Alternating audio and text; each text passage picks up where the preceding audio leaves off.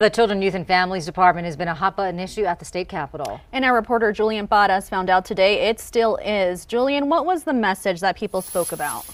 I've been here at the state capitol covering stories all week, but this is the first time I've heard so many legislators, advocates, and people in the community demand changes to a state department like the CYFD.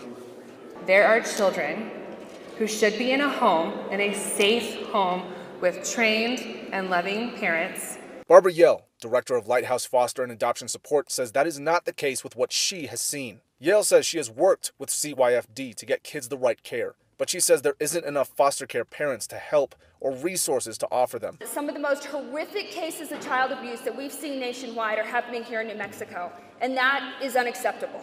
Legislators standing behind everyone who spoke out, regardless of party affiliation. We hear you.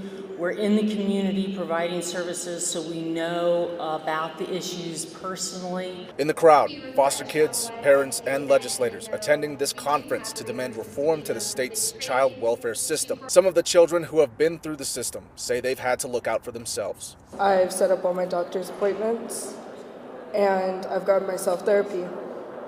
I had nobody to go to when I needed help. Yale says there is no time better than now to address the issue. Something has to happen. It's time to fix it, and the time is now. Now, a spokesperson with CYFD did get back to me. In an email, they said the CYFD team is working tirelessly every day with legislators and is working closely on House Bill 461. They say this is a bill that would help transform the child welfare system in the state. In Santa Fe, Julian Paras, KOAT, Action 7 News.